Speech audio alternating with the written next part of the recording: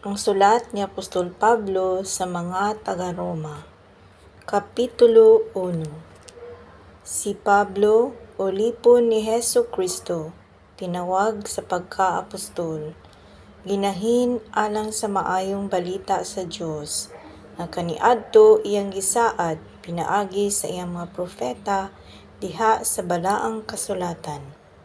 Sa maayong balita mahitungod sa iyang anak nga sumala sa iyang pagkatawo gianak nga kaliwat ni David. Ug uban sa gahom gipaila nga anak sa Dios sumala sa espiritu nga balaan pinaagi sa iyang pagkabanhaw gikan sa mga patay si Hesu Kristo nga atong Ginoo. Pinaagi kang kinsa nadawat namo ang grasya ug ang pagkaapostol aron nga alang sa kadungganan sa iyang ngalan ang mga tawo sa tanang kanasuran among madala ngadto sa pagkamasinugtanon sa tinuohan nga uban kanila kamo usab gipanagtawag aron maiya ni Hesu Kristo. Nganha kaninyong tanan sa Roma kaninyo nga sa Dios tihigugma nga gipanagtawag aron mahimong mga balaan kaninyo manaunta ang grasya ug kalinaw nga gikan sa Dios nga atong Amahan ug gikan sa Ginoong Hesu Kristo. Una sa tanan, magapasalamat ako sa akong Dios pinaagi kang Hesu Kristo tungod kaninyong tanan kay ang inyong pagtuo nadungogman sa tibuok kalibutan Kay saksi ko ang Diyos, ang ginaalagad ko sa akong espiritu pinaagi sa pagsangyaw sa maayong balita sa iyang anak. Nga sa walay paghunong ginalakip ko kamo kanunay sa akong mga pag-ampo. Sa pagpangamuyo nga pinaagi sa kabubutnon sa Dios sa bisan unsang higayuna sa katapusan bis mahinayon na unta ako sa pag-anha diha kaninyo. Kay gipangandoy ko ang pagpakikita kaninyo aron makapaambit ako kaninyong espiritu espirituhanong gasa nga makapalig-on kaninyo. Sa laing pagkasulti aron magkadinasigay kita pinaagi sa pagtuo nato nga matag usa sa inyo o sa ako mga igsuon, buot ko nga inyong masayran nga sa makadaghan gilaraw ko ang pag-anha diha kaninyo. Apan hangtod karon gibabagan ako aron makaan ani unta ako bunga diha kaninyo. Maingon man diha sa ubang mga hentil. Utangan ako sa mga Gresyanhon, maingon man sa mga luog sa mga makinaadmanon, maingon man sa mga walay alamag. Busa andam ako sa pagwali sa maayong balita diha kaninyo usab nga anaa sa Roma. Kay wala ko igakaulaw ang maayong balita kay kini mao ang gahom sa Dios alang sa kaluwasan sa matag usa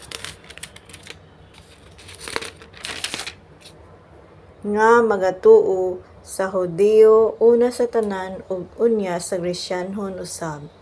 Kay diha sa maayong balita ginapadayag ang pagkamatarong sa Dios nga pinaagi sa pagtuo ngadto sa pagtuo sumala sa nahisulat nga magaingon mabuhi ang namatarong pinaagi diha sa pagtuo.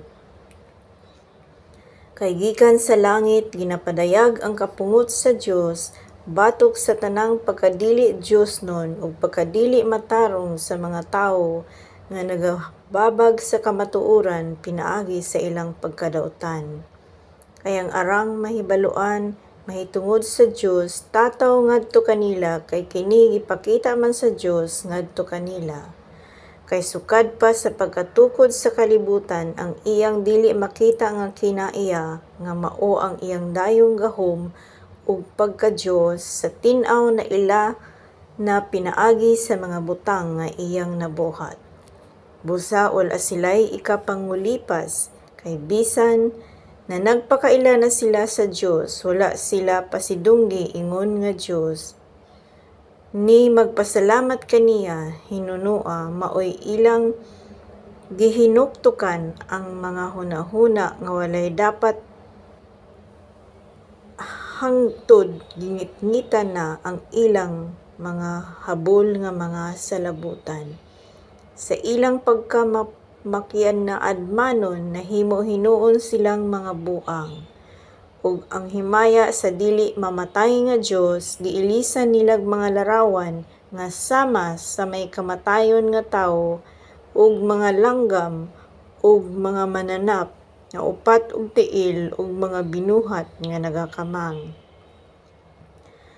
Tungod niini gitugyan sila sa Dios ngadto sa kahugawan diha sa mga pangibog sa ilang mga kasing-kasing aron magpakaulaw sila sa ilang mga lawas sa ilang masig kaugalingon.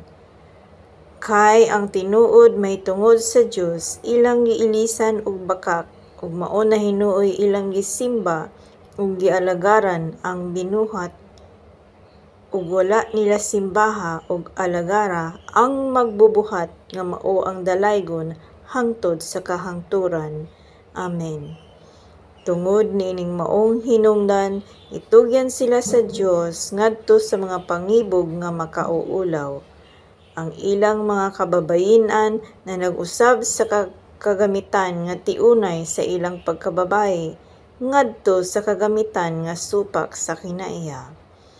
Ug sa mauusab nga paagi ang mga lalaki na nagbiya sa ilang tiunay kalabutan ngadto sa babaye ug nangaut-ut diha sa ilang pangibog alang sa usag-usa. Mga lalaki sa masig kalalaki manag-unay sa pagbuhat sa makauulaw ug na nagpakaagom diha sa ilang kaugalingon sa balos nga angay sa ilang pagkadautan. Ug kay nagdumili man sila sa pagila kaniya ingon nga Dios sila gitugyan sa Dios ngadto sa pagpanghuna-huna nga dautan ug sa paggawi nga dili angay. Sila napuno sa tanang matang sa pagkadili matarong pagkadautan kadalo panghim maraot sila puno sa kasina pagbuno pakilalis lansis kangilad sila mga tabian, malibakon, manumtanon sa Dios, mapasipalahon, mapahitason, andakan, tigmog nagdautan, masupilon sa mga ginikanan. Hungog, walay paglaban sa pulong, walay kasing-kasing, mabangis. Kini sila bisan ila nang nasayran ang pagbuot sa Dios nga ang magabuhat sa maong mga butang takos sa kamatayon. Dili lamang kay nagabuhat niini kundili giuyunan usab nila ang mga tawo nga nagabuhat niini